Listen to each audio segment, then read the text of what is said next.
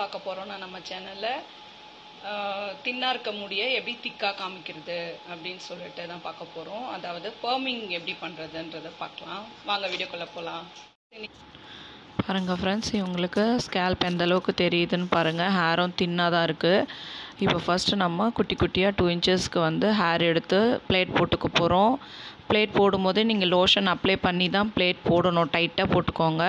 Forty minutes விட்டுட்டு அதுக்கப்புறமா இன்னொரு சால்ட் வாட்ரு போட்டு நம்ம அது திரும்ப அகெயின் வந்து டிப் பண்ண போகிறோம் டிப் பண்ணி அது ஒரு தேர்ட்டி மினிட்ஸ் கிட்ட வச்சுட்டு எவ்ரி டென் மினிட்ஸ் வந்து பார்த்திங்கன்னா சால்ட் வாட்டர் போடும்போது ட்ரையர் போட்டுகிட்டே இருக்கணும் காயறதுக்கு.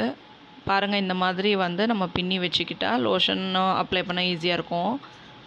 ஃபஸ்ட்டு லோஷன் ஃபார்ட்டி மினிட்ஸ் போட்டுட்டு நல்லா ஊற விட்டுடுங்க. அதுக்கப்புறம் லைட்டாக ப்ளெயின் வாட்டர் கொடுத்து வாஷ் பண்ணிக்கோங்க. அதுக்கப்புறம் சால்ட் வாட்டர் மிக்ஸ் பண்ணி ஃபார்ட்டி மினிட்ஸ் வச்சுட்டு எவ்ரி டென் மினிட்ஸ் நீங்கள் வந்து ட்ரையர் கொடுத்துட்டே இருங்க. அதுக்கப்புறம் ப்ளைன் வாஷ் கொடுங்க ஷாம்பு வாஷ் கொடுக்காதீங்க. கொடுத்ததுக்கப்புறம் இந்த மாதிரி இருக்கும். பாருங்கள் ஃப்ரெண்ட்ஸ் இவங்களுக்கு ஆஃப்டர் வாஷ் எப்படி இருக்குது பாருங்கள் ஸ்கேல்ப்பு தெரியல.